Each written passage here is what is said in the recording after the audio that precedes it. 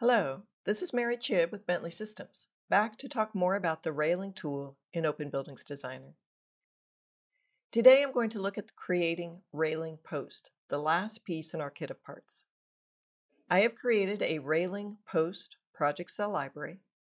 Again, the naming of these cell libraries is important. This one needs to start with railing posts, no spaces. The default configuration is set to find the cells for post in any library that starts with the phrase railing post within the selected workspace or workset. Each post created will be a 3D model within this file or cell library. I am currently in the default model. Now we will start by creating a simple post. Unlike balusters, posts are not parametric. Since handrail heights are fairly standard, based on building codes, posts usually adhere to a couple of standard sizes. I'm going to create a simple circular post designed to support a handrail cap. I have already established the center and overall height of my post with a construction line in my default model. I will copy this model to create the model for my circular post with a diameter of 42 millimeters.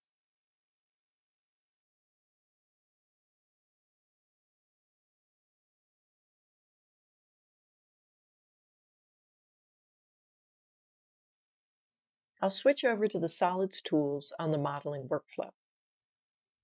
I can make this entire post using the cylinder tool. I'll start with the base, which has a 75 millimeter diameter, so I will set the radius to 37.5 millimeters and the height to 10 millimeters. I will place that first solid at the 0, 0 origin.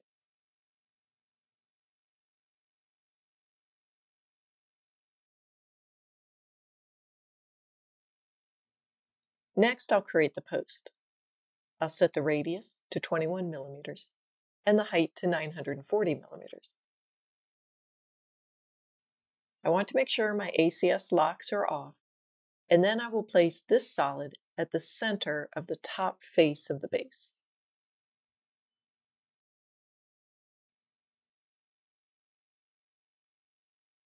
Next, I will place the support piece for the handrail cap. I'll set the radius to 10 millimeters and the height to 100 millimeters. I will place this solid at the center of the top face of the post. Now I'm going to convert all the geometry to a smart solid.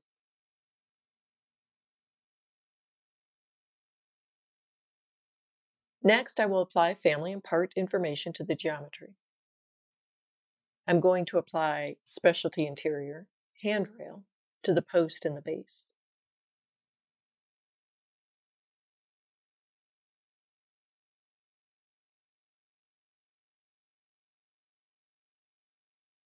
But apply material chrome to the cap support. So this post actually has two different parts or materials assigned. So that is the post. Now, I thought about adding clips to this post to hold a glass panel, but I found it was actually better to model the clips with the glass panel in the parametric library, as then they turn and rotate with the panels. Now, in some cases, you might need additional variations of a post to create end conditions or corner conditions, but this simple post will work for all those conditions. Now, unlike all the other cells, the placement of post is based on finding the center of the range of geometry in the cell, rather than the zero zero origin. Now, this post is symmetrical, so the origin and the center of the range happen to align. They're at the same place. But let's create a variation of this post with a handrail bracket so that we can see what happens to the placement point when the post is not symmetrical. I'll make a copy of this model in order to create the post with the bracket.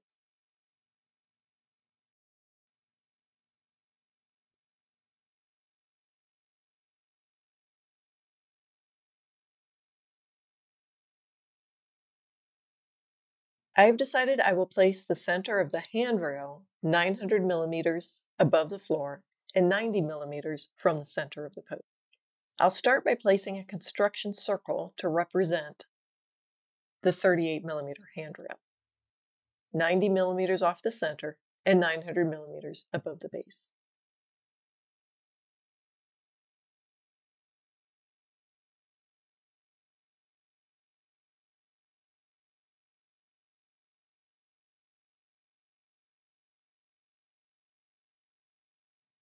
So I can snap to the center of the base, then type S to rotate the compass to the side orientation, then type O to reset the origin of the compass, and input 90 to define the offset in the X direction.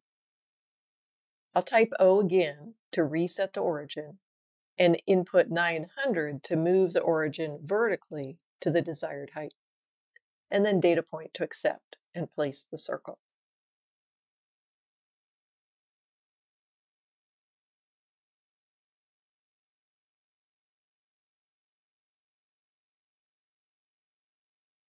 Now I will use the linear solid tool and set the width to 25 millimeters with a height of 6 millimeters.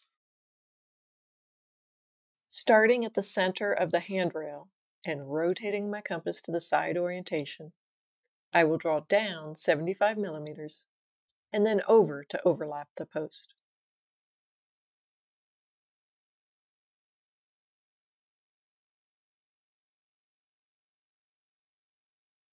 I'll move the geometry over to align the centers.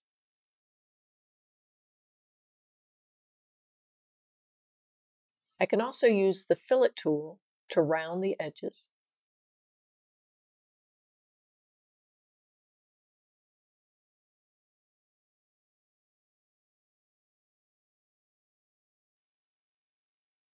and even create a feature cut for the handrail.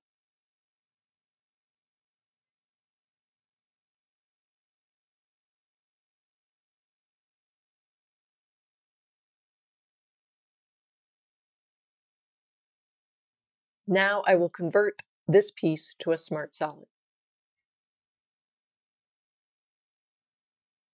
And then add family and part. We have now modeled a post variation with a handrail bracket. Now, let me see if I can explain what that does to the placement point of the post.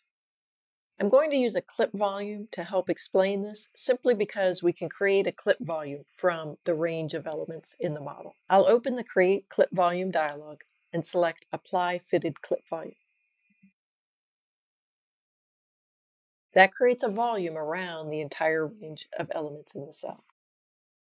Now, if I were to draw a smart line by snapping to the center of this clip volume,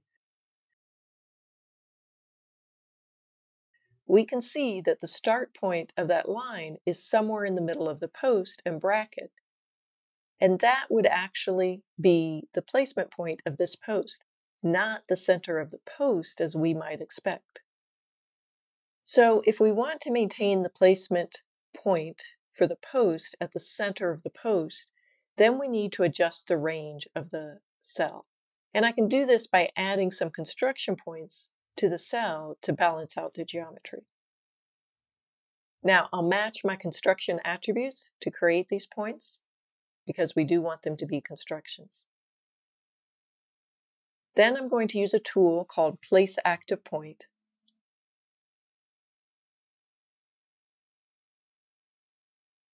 And place a point at the outer extents of the bracket and the post at one corner of the cell. Then I'm going to make a copy of that point by rotating it 180 degrees around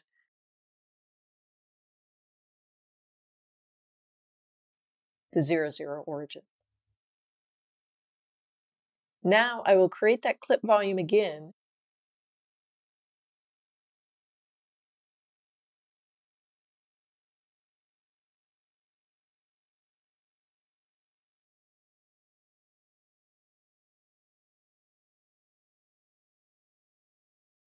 to show that the center of the range now aligns with the center of the post.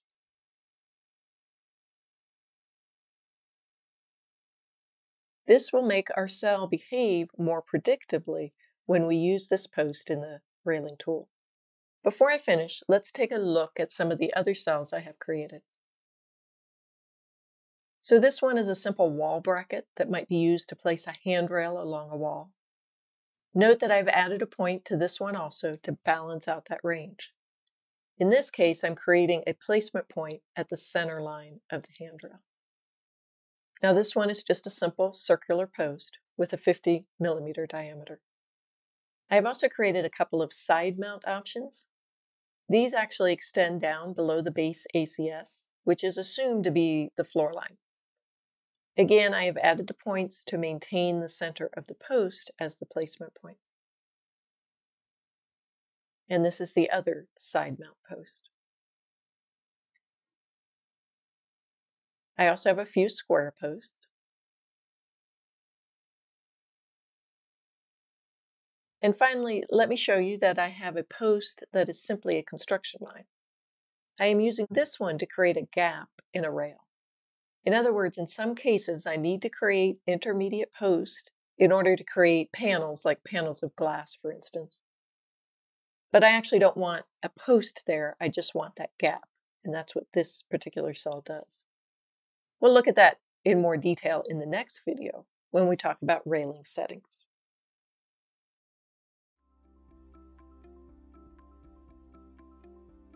If you found this video helpful, please give it a like. If you want to see more such series, consider subscribing to our channel. Thank you and see you next time.